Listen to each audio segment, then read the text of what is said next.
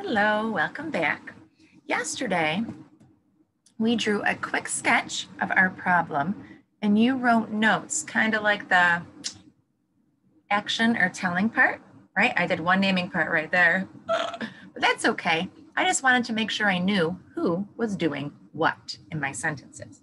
All right, so today is the day that we get to work. Yesterday was our thinking and our planning day because good writers always think first. Absolutely. All right, so while we were gone, I worked on my final copy drawing. So you didn't have to just watch me draw slowly and carefully. All right, so here is, I turned my sketch into a good drawing. I made it a little, the store a little bit closer so you could see that my poor Cuddles oh, is crying. And then look at Fluffy, so sad too, and is crying. Oh no, we have a problem. Exactly, right? We're working on the problem.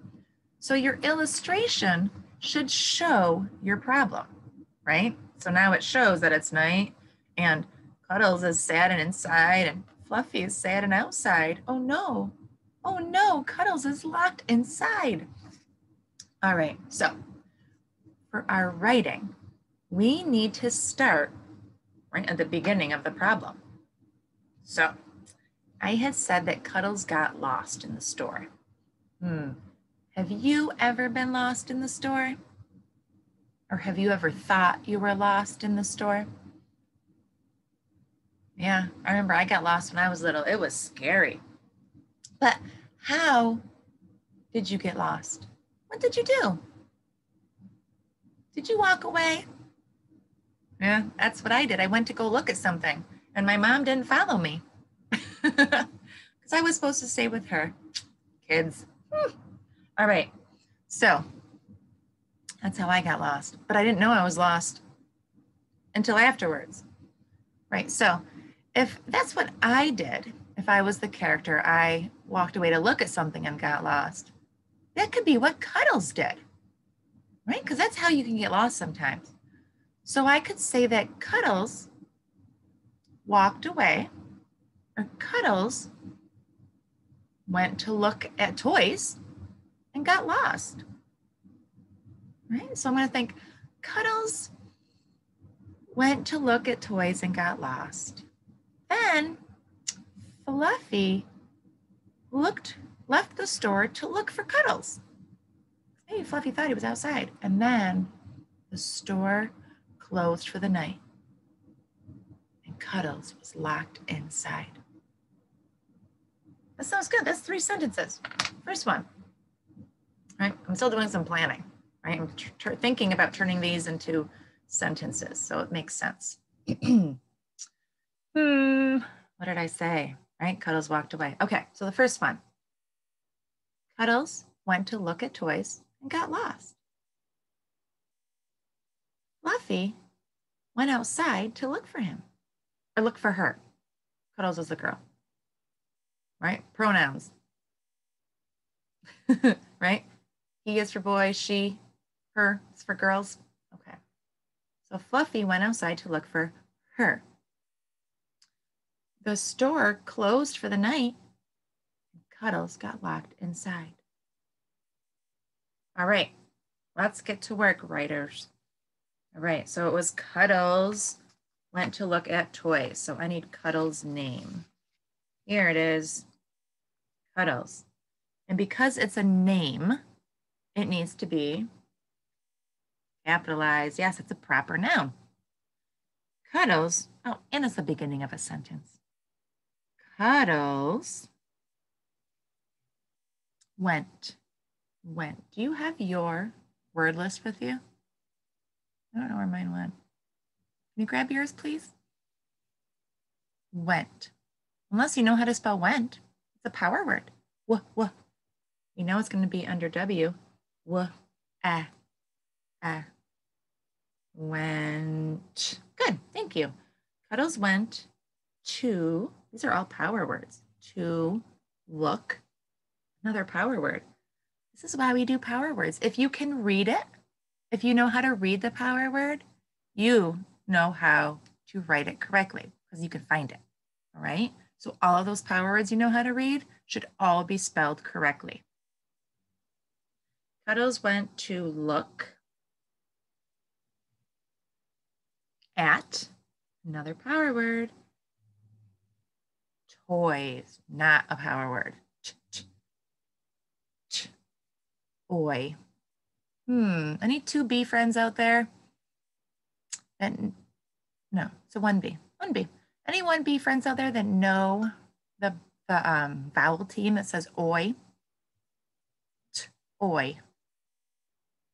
I heard somebody say it. Oh, why? Yes. Toy. Cuddles went to look at toy. Toys. There's more than one toy, so that means I put an S at the end. It sounds like a Z, but it's really an S. Cuddles went to look at toys and got lost. And, right, another power word, got. That's right. Remember, we spelled it yesterday. We did our thinking. Got lost. L O S T. All right, first sentence. I end it right there. Er, it's a period. I'm just telling you, right? Cuddles went to look at toys and got lost. Wow, great spelling. Look at that. Thank you for helping. All right, what did I say next? Right, Fluffy went outside to look for her. That's the pronoun, right? Her. Hear my voice? It's weird.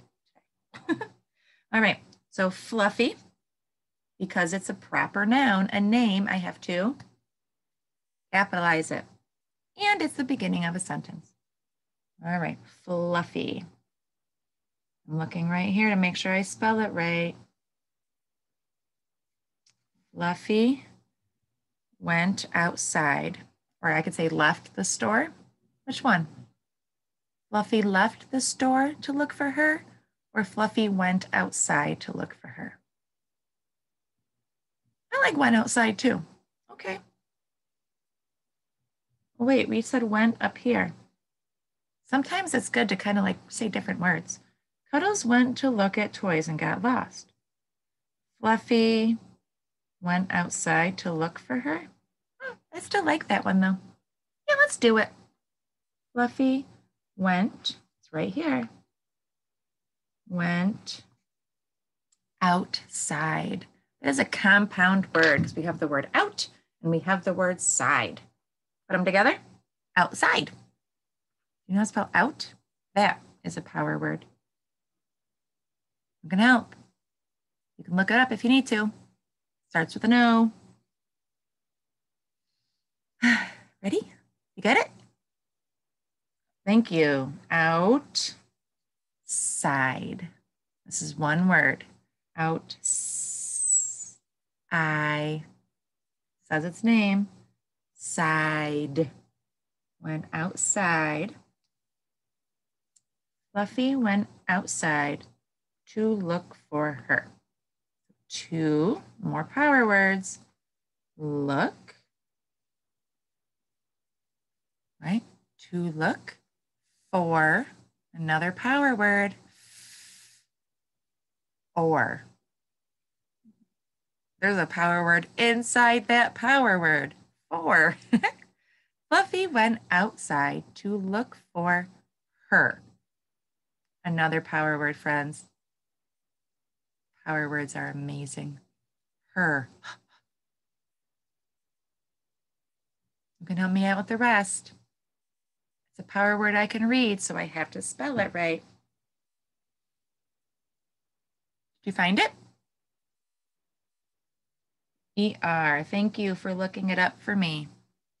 Fluffy went outside to look for her. All right, I need punctuation. Is that a question? Am I asking? No, I'm telling you. Is there a lot of emotion?